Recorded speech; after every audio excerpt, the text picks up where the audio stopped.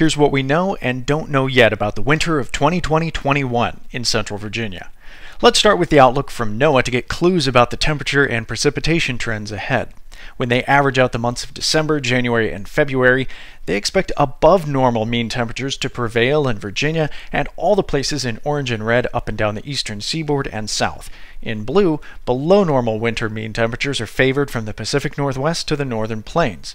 As for precipitation, drier than normal conditions are most likely from southeastern Virginia all the way to California, shown in brown, and the places with the best chance of seeing wetter than normal winter weather are in green, the Ohio Valley, all the way to the Pacific Northwest.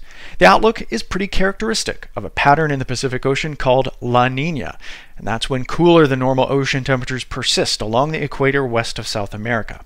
It's the opposite of El Nino, which you might have heard of, when the waters there are warmer than usual. So what we do know is that La Nina pattern will probably last into next year and it will probably influence our weather.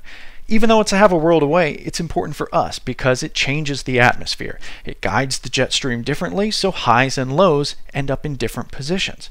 So, during a La Nina, we'd expect some places to end up warmer or cooler, wetter or drier than usual and it so happens that Virginia is one of the places that tends to end up warmer and drier when we see this. But La Nina does not mean blazing hot and drought and no snow at all. When we look at history, we still see a lot of variation in similar years. Remember 1996?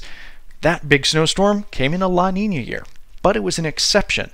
Other patterns overlap to determine how cold and snowy we get on the week to week scale but on average La Nina winters fall a few inches short of the others when it comes to snow totals around Richmond.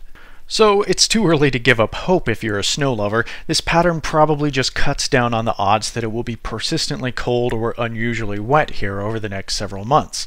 When those other weather patterns come in to make things cold and snowy and interesting, we'll just have to stay tuned.